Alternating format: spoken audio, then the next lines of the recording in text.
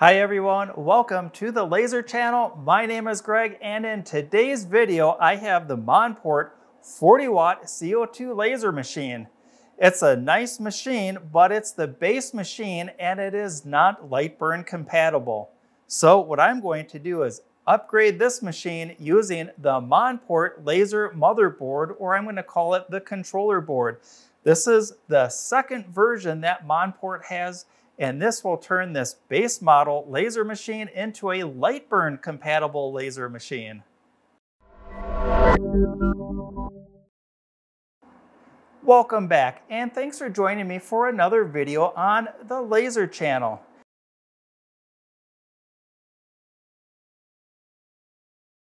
Installing the controller board is very fast and simple. The contents of this controller board box include a very nice and easy to follow manual, followed next by the controller board itself. The board has the same footprint as the one I'll be removing in just a minute. There's also a couple of basic tools along with the full mounting hardware for the board, but I'm going to reuse what's already in the machine. There's also a USB cable to go to the new controller board and another cable. The controller board is mounted to this board here and this board is held on with only three screws. I'll use the 10 millimeter wrench to loosen up all of these so that I have easier access to the controller board. With the three screws removed, this entire metal plate now is free to move around and I'm now ready to disconnect the wires off of the original controller board. This plate with the original controller board removes very easily. There's just a couple connectors we just saw and again the three mounting points to remove this board. Here's the new board that I'll be installing. We'll see when I hold it up that all of the connector locations they're all in exactly the same spot. There's even the option if your machine has a ribbon cable on it. And this is all going to make the installation very quick and easy.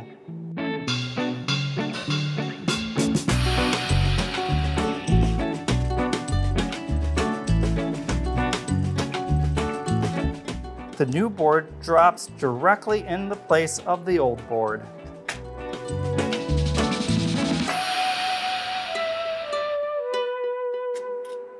Referencing the user manual, I'll start plugging in the connectors into the new board. Following the manual, I'll plug in the power connector. Next, I'll plug in the Y-axis connector. Followed by the X-axis. And lastly, the limit switches. Before powering on, I double checked all my connections up to the user manual and this cable here that I showed you during the unboxing of the controller board, this does have to be installed and it goes between the power supply and of course the controller board. On the power supply, I did have to disconnect these two white connectors with the white wires coming out of them. Those wires did go up to the back side of the controller board that is on the front of the laser machine and that effectively turns this off. This was the manual control for the laser output. Either end of this cable will fit up to the power supply, but we want the connector that has the black lead to the far left and the red lead in the middle position. Here's the view of that same cable from that power supply going up to the controller board. I'll reinstall the three fasteners that hold this metal board to the main machine and I'll be ready to power up. Before I tighten down this plate, I'll make sure that the USB port is viewable and accessible through the side of the frame of the machine. This is one of my favorite things when I've got a new machine, and that is configuring it with Lightburn software. It's incredibly easy. Here inside Lightburn software, we'll see that the machine is already trying to connect on COM port 3 on the Xtool profile and this isn't going to allow the machine to be automatically detected by Lightburn software. To fix this, I need to drop this menu down and this part here has to say choose. If it says anything else, Lightburn will not be able to automatically detect the machine that we're connected to. This looks good. I can now click on Devices and find my laser. And here it is. I'll add device and I'm going to name it MonPort version 2 for the version 2 controller board I just installed. Here, the origin or where the laser is going to home, this is actually going to be in the rear left. Everything else looks good and I'll click next. Here we can see some text is cut off on the top of my screen here. I have found that I can grab the corner of this dialog box and I can drag that and here is a complete summary of everything that the machine has found. This all looks correct and I'm ready to hit finish and OK.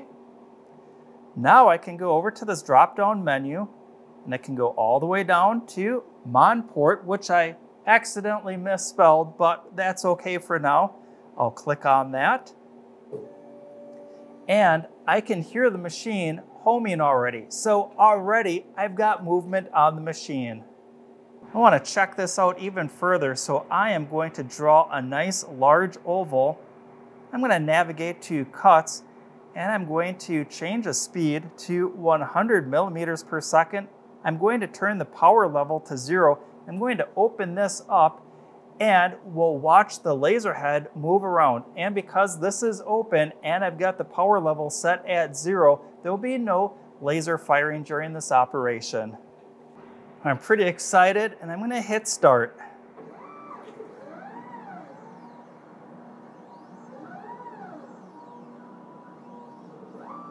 Look at that, that looks absolutely perfect. Next, I'm gonna turn some laser power on and I'm going to place this simple piece of cardboard in the work area and see if I can cut this out and get some laser energy going out to the work area.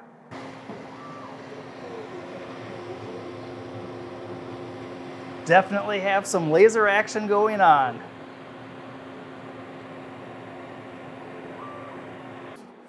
Check that out. First pass with the laser and it's already marking the cardboard. I definitely call that a success. I'd like to share with you some of the accessories that are included with this machine along with a brief fly around of the machine of what it looks like on the inside just in case you're not familiar with the Monport 40 watt CO2 laser. Here's what's included with the Monport machine.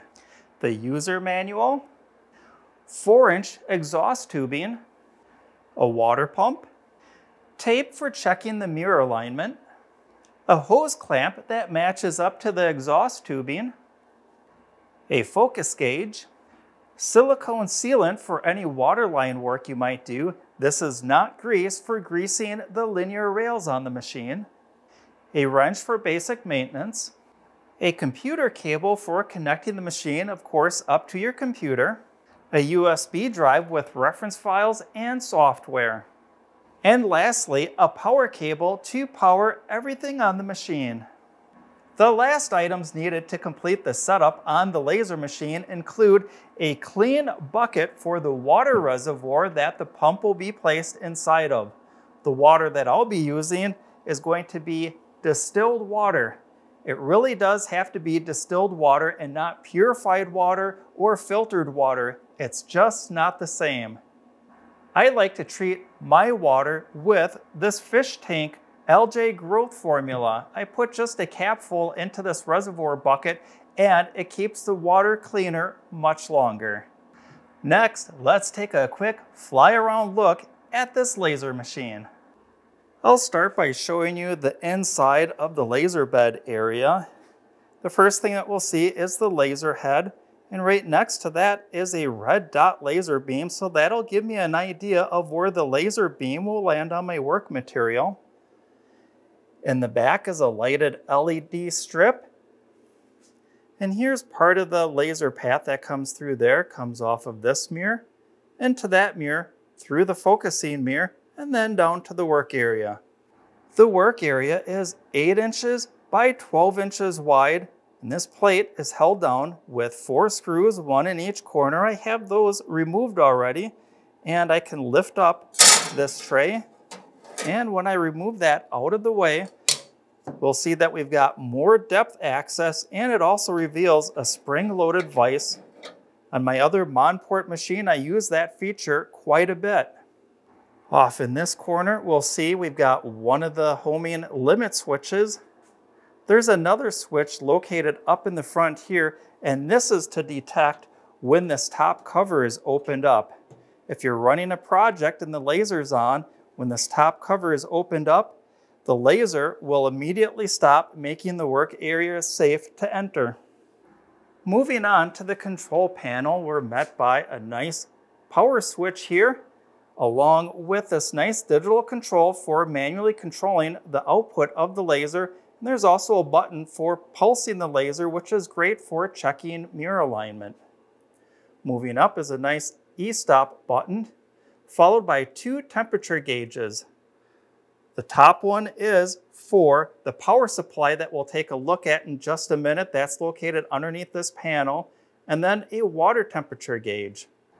Inside the control panel, the first thing we're drawn to is this power supply this is the power supply that runs out to the CO2 laser tube.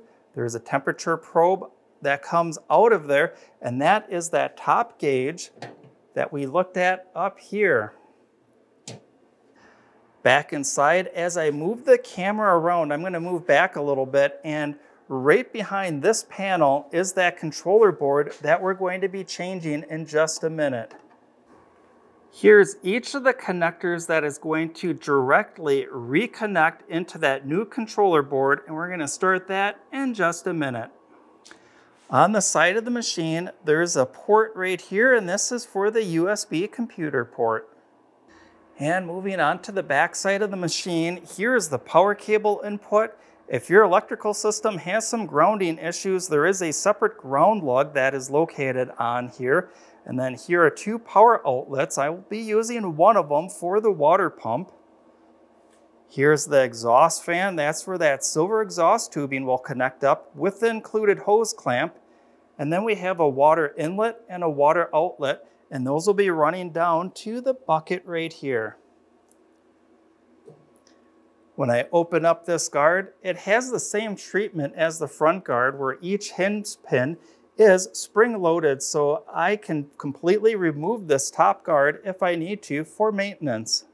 Removing the top guard was pretty easy. And now I've got an extra hand available to point at things. And this right here is going to be the CO2 laser tube. It runs the entire width of the machine. And this is always what the laser tube should look like. It should always look clear and it should always be dust free. It's a pretty neat setup and it's a really great way to get introduced to the CO2 laser world. This was definitely quick and easy to install the new controller board and making the connections following the user manual. The connection of the machine up to Lightburn software is also very quick and easy due to the convenient feature of the auto detect feature in Lightburn.